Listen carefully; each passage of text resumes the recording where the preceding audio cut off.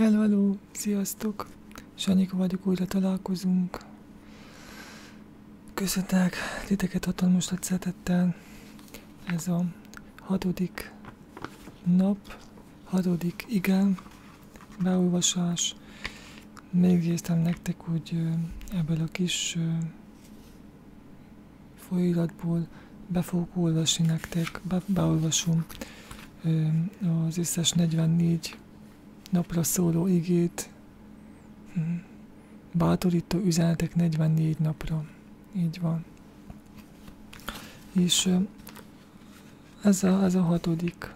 Így van. Mind a 44-et be fogom nektek olvasni. És szerintem akkor kezdjük a hatodik igével, ami a pénzügyekről szól. Az adós szolgálja a kölcsön adónak.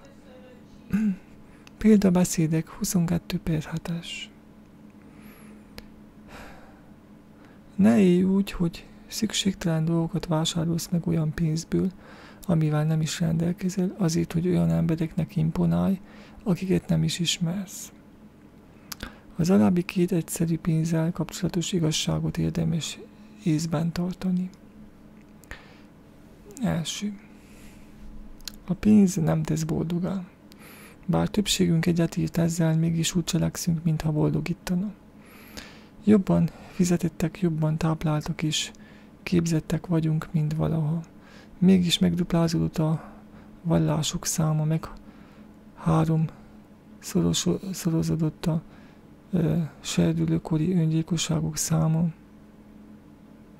A depresszió pedig magasra szükött az elmúlt 30 évben. 2000 évvel ezelőtt Szeneca így írt. A pénz senkit sem tesz gazdagá. Miért? Mert az vagy, aki vagy, függetlenül attól, hogy mennyi a vagyonod. Ez így van. Második, az adóság boldogtalaná tesz.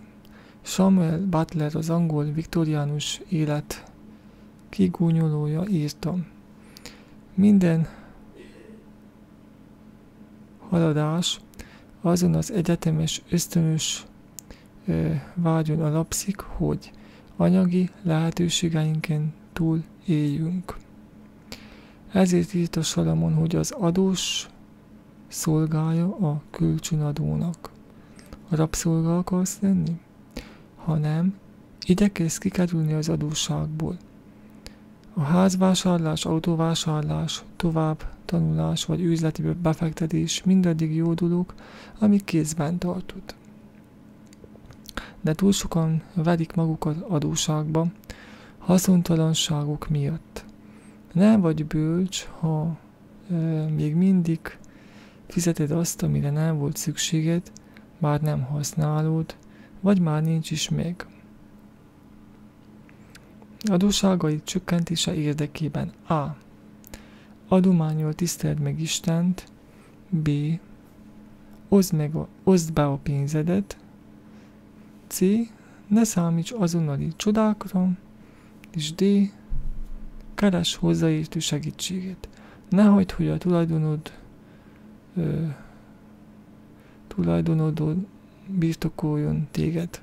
Tulajdonod birtokoljon téged. Ha az adóság rabságában élsz, keresd szabadulásod útját. Na hát, így van, ez volt a hatodik igen, majd következik holnap a hetedik, így van. Én Sanyika voltam, köszönöm szépen a figyelmeteket, a legjobbakat kívánom, és akkor Isten áldjon a legjobbakat. Sziasztok!